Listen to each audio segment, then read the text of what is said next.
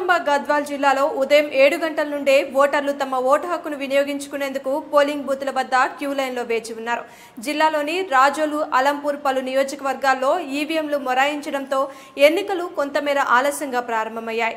గద్వాల్ నియోజకవర్గ మహాకూటమి అభ్యర్థి డీకే అరుణ తమ ఓటు హక్కుని ప్రభుత్వ ఆర్ట్స్ అండ్ సైన్స్ కళాశాలలో వినియోగించుకున్నారు.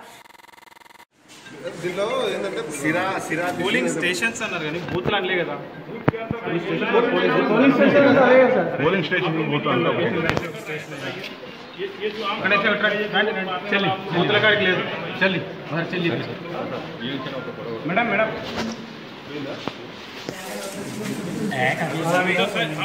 రెండు నిమిషాలకి అయితే సార్ ఎవరు ఉండరు కూడా ఉన్నారు నిమిషాలు లోపల బయటికి రండి బయటకు వచ్చి తీసుకో అయిపోయింది సార్ నేను ఈడ ఉన్నా కదా సార్ ఇప్పుడు ఆమె ఆమె వేస్తుంది సార్ ఆమె- చలియే ఎప్పుడు కనిపించదు. చలియే మళ్ళీ నూకొద్దు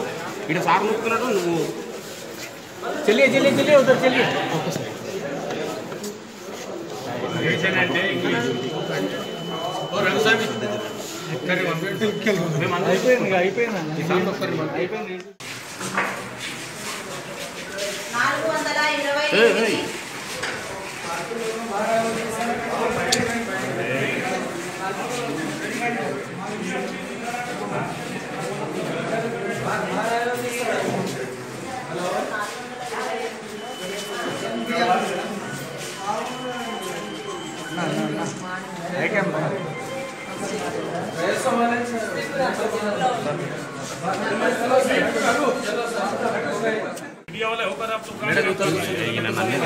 ఇరవై ఎనిమిది इनका भी खींच लेना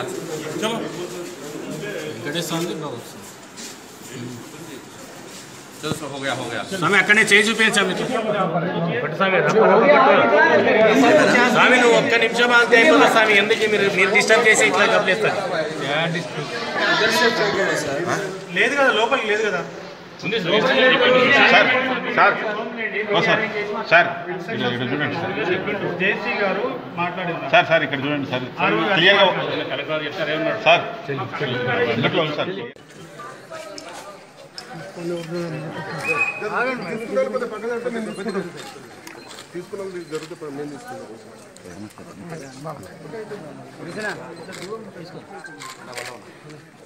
అదేవిధంగా టీఆర్ఎస్ అభ్యర్థి విఎం అబ్రహం వల్లూరు గ్రామంలో తమ ఓటు హక్కును వినియోగించుకున్నారు. ఇదిలా ఉండగా జిల్లా వ్యాప్తంగా పోలీస్ పహారా మధ్య ఓటర్లు తమ ఓటు హక్కును వినియోగించుకున్నారు.